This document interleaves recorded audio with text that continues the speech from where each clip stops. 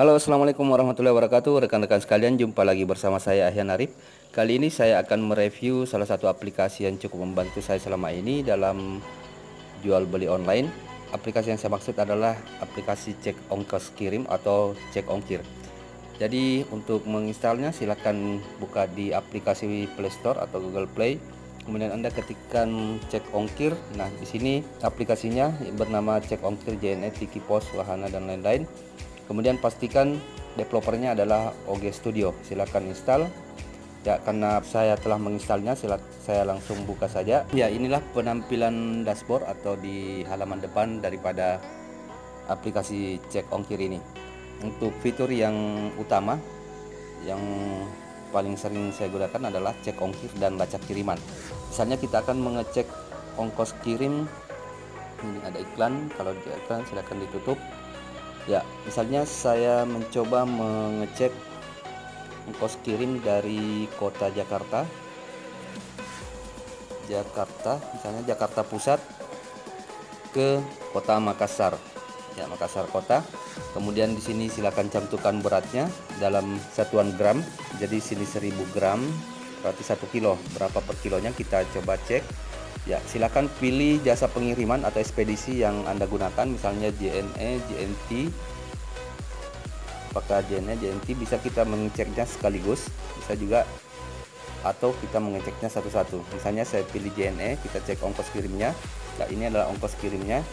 JNE OK kemudian di sini ya JNE reguler kemudian JNE yes. Jadi tarifnya berbeda-beda. JNE OK 40.000 kemudian reg reguler 43 kemudian yes 75.000 ya kita juga bisa mengecek ongkos kirim untuk beberapa ekspedisi atau jasa pengiriman misalnya saya pilih JNT Tiki kemudian pos ya kita langsung cek saja ya inilah ongkos-ongkos kirim dari Jakarta Pusat ke Makassar Sangat mudah dan cukup akurat aplikasi ini untuk pengecekan. Di samping itu Anda juga bisa mengecek pengiriman ke kota lain di luar Indonesia. Misalnya kita pilih Jakarta Pusat ke Brunei Darussalam berapa? Misalnya kita pilih pos. Ya kita cek ongkos kirimnya. Ya ini adalah ongkos kirim dari Jakarta ke Brunei Darussalam. Selanjutnya, fitur utama yang kedua adalah lacak pengiriman. Misalnya kita telah mengirim barang dan kita sudah memiliki nomor resi barang yang telah kita kirim, silakan masukkan nomor resi. Tadi saya mengirim barang dengan nomor resi ini melalui GNT, saya copy, kemudian saya coba lacak di mana posisi barang tersebut sekarang. Atau update terakhir. Kita hapus, ya ini adalah nomor resinya.